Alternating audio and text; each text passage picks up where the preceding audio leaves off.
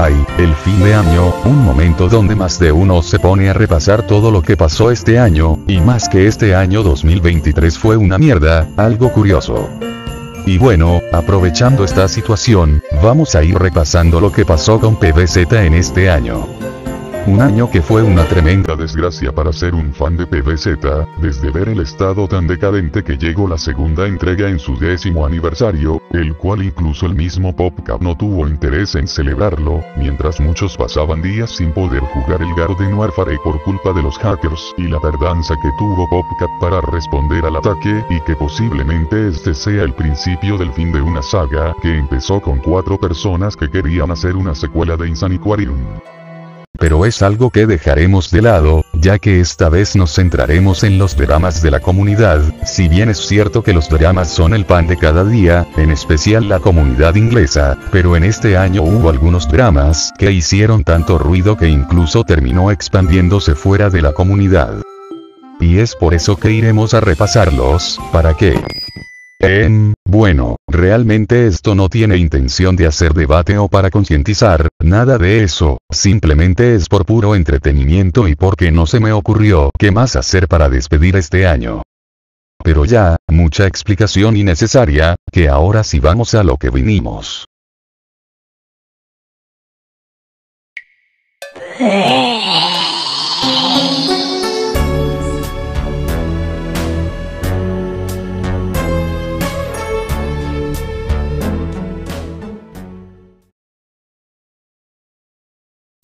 Empezamos fuerte con el drama que más ruido causó y que casi provoca una consecuencia peor, pero iremos desde el principio. Todo esto se originó en PVZ2 Reflourish, un mod que en esos momentos gozaba de una gran reputación ya que tenía el objetivo de recuperar la esencia del PVZ2 de antaño, y durante esas fechas tanto Reflourish como Alterverse anunciaron que habría una colaboración de ambos mods en un gran evento simultáneo colaboración que sería opacada por algo que incluyó aquella actualización de primavera que lanzó Reflourish. Un disfraz de Z solar con un pin de la comunidad transgénero, y como la comunidad de PBZ no era muy tolerante con estos temas, empezaron con las típicas burlas que se le hace a un random trans promedio, y más sabiendo que podría tratarse del caso de un self-insert, ya que algunos devs ya habían hecho sus self-inserts en diferentes disfraces pero quien terminó haciendo más grande el drama fue un grupo hispano popular de Facebook, la cual tenía una menor tolerancia a estos temas y se dedicaron a hacer un humor más negro al respecto.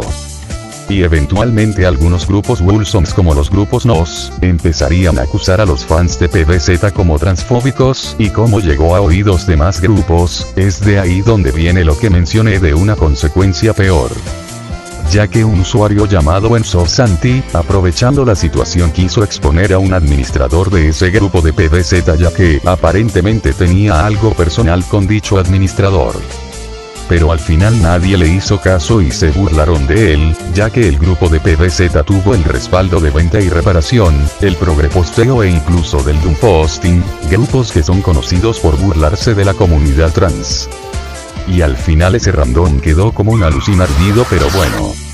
Al final el drama se terminaría calmando, pero el daño ya estaba hecho y Nerflourish había perdido la reputación que había ganado y se volvió otro hazme reír como Eclipse.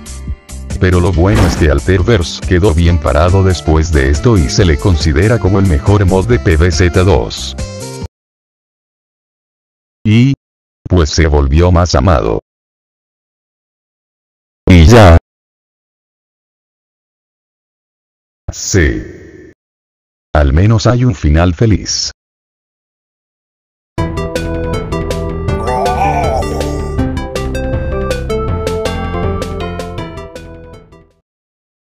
Como si te enseñan un dibujo y dices, está bonito, este, obviamente, pero si en tu mente no piensas eso, es porque no estás siendo sincero, pero si lo dices que, está bien culero.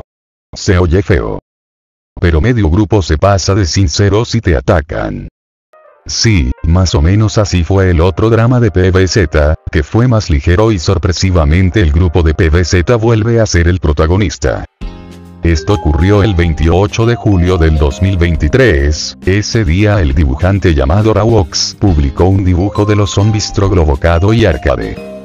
Abrazándose. Muy cerca. Sonrojado. Como unos hot y como esto fue hecho en el mismo grupo, iba a ser obvio que nuevamente los miembros les iba a desagradar el dibujo, por lo que el dibujante se fue a quejar en su perfil de Twitter exponiendo los comentarios que recibió por el dibujo. Tras esto algunos usuarios, entre ellos algunos creadores de contenido, reaccionaron de forma negativa hacia el grupo de Facebook. Ya luego de eso, pues, el drama no llegó a nada, y creo que incluso el dibujante abandonó el grupo pero pues, ni modo.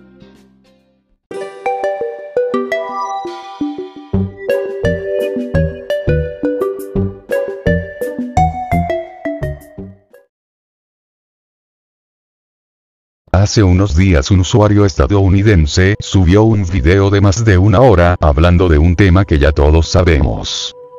La cuestión es que en una parte del video, el usuario llegó a hablar mal de los mods existentes solo porque sí, y varios usuarios involucrados en los mods como Reflourish o Alterverse expresaron su descontento ante tal video. Pero parece ser que al final todo se resolvió o simplemente quedó en la nada. Yo no moriré, no importa que mi cuerpo sea destruido por completo. Mis deseos de pelear me levantarán porque son muy grandes. Y después de eso, los derrotaré, pase lo que pase.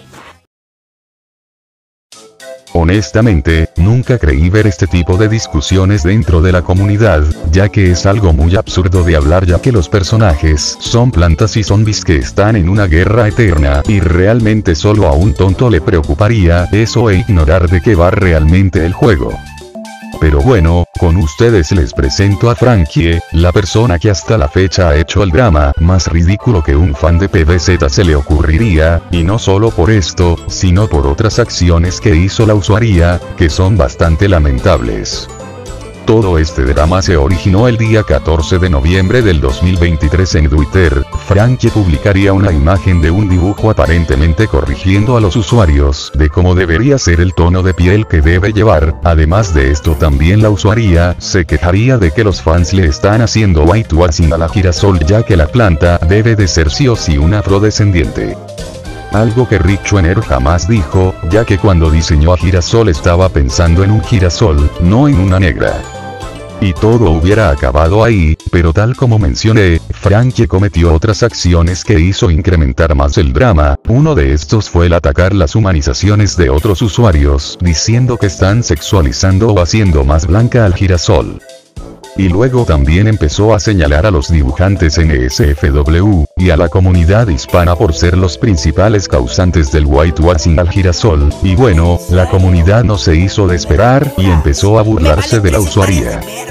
Después de esto, la usuaria soltaría un par de duets, que realmente no calmó las cosas y aumentó las burlas, por lo que simplemente dejó de lado el drama, y siguió como si nada con sus ideologías.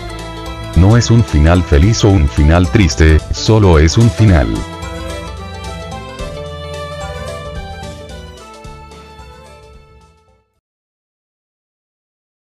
Vaya. Este año sí que realmente fue algo curioso, y es sorprendente ver la intensidad que subieron los dramas a comparación de otros años, y eso que hace un año aún era una comunidad que era sana. Pero bueno, ahora les pregunto, ¿ustedes qué opinan en lo que se ha convertido la comunidad? Leeré sus comentarios. Pero bueno, así es como terminamos el último video del año, si te gustó el video, sería de gran ayuda que dejes tu me gusta y lo compartas con los demás, si no te gustó el video, pues da igual, tampoco puedo ver el contador de dislikes. Pero bueno, me despido y les deseo felices fiestas, hasta el próximo año.